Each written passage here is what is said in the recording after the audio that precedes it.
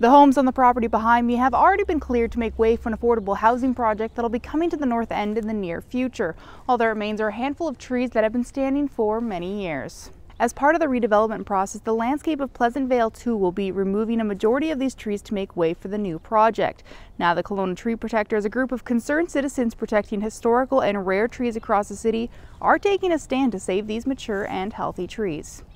On this site, there are 25 trees. The arborist, Verna Mumby, who uh, recommended the healthy trees that be saved, said 10 of them should be saved on the site.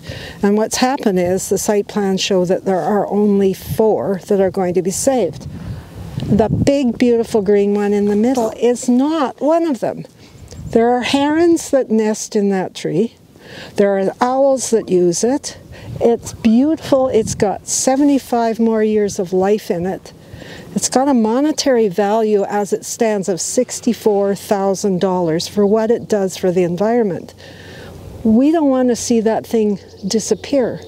We would like to see the plans on the site changed so that the buildings are built around the tree and the tree can be protected. With this project specifically, we've actually got um, some significant, interesting, unique trees that are actually surviving super well. A lot of it because the soils have been undisturbed. So we've got one of the few locations that haven't had big, newer technology machinery on site that really does destroy a lot of the natural soil layering.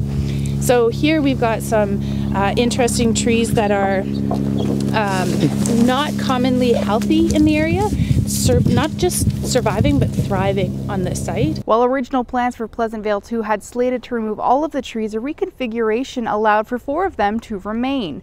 In a statement from the BC Housing Association, the plan for Pleasant Vale 2 includes planting approximately two times the number of trees to be removed, with the size of the new trees at the time of planting sufficient to create an instant landscape. The retention of existing mature trees is often difficult, not just because the trees may conflict with the housing development plan, but also because the development of new infrastructure and buildings can create unsustainable stress on established root systems. Plans for this project are anticipated to be brought forward to City Council in early April, and the Kelowna Tree Protectors are hoping that their concerns will be heard before anything is approved. People who are interested, like we definitely want them to understand, the project is not completed.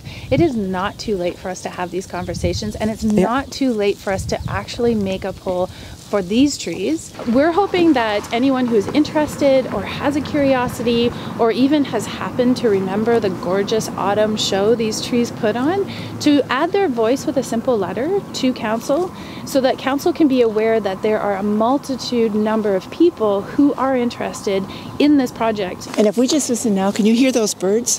Where do those birds live, right? Can you hear them over there? Probably, I don't know what tree. it's wonderful, eh?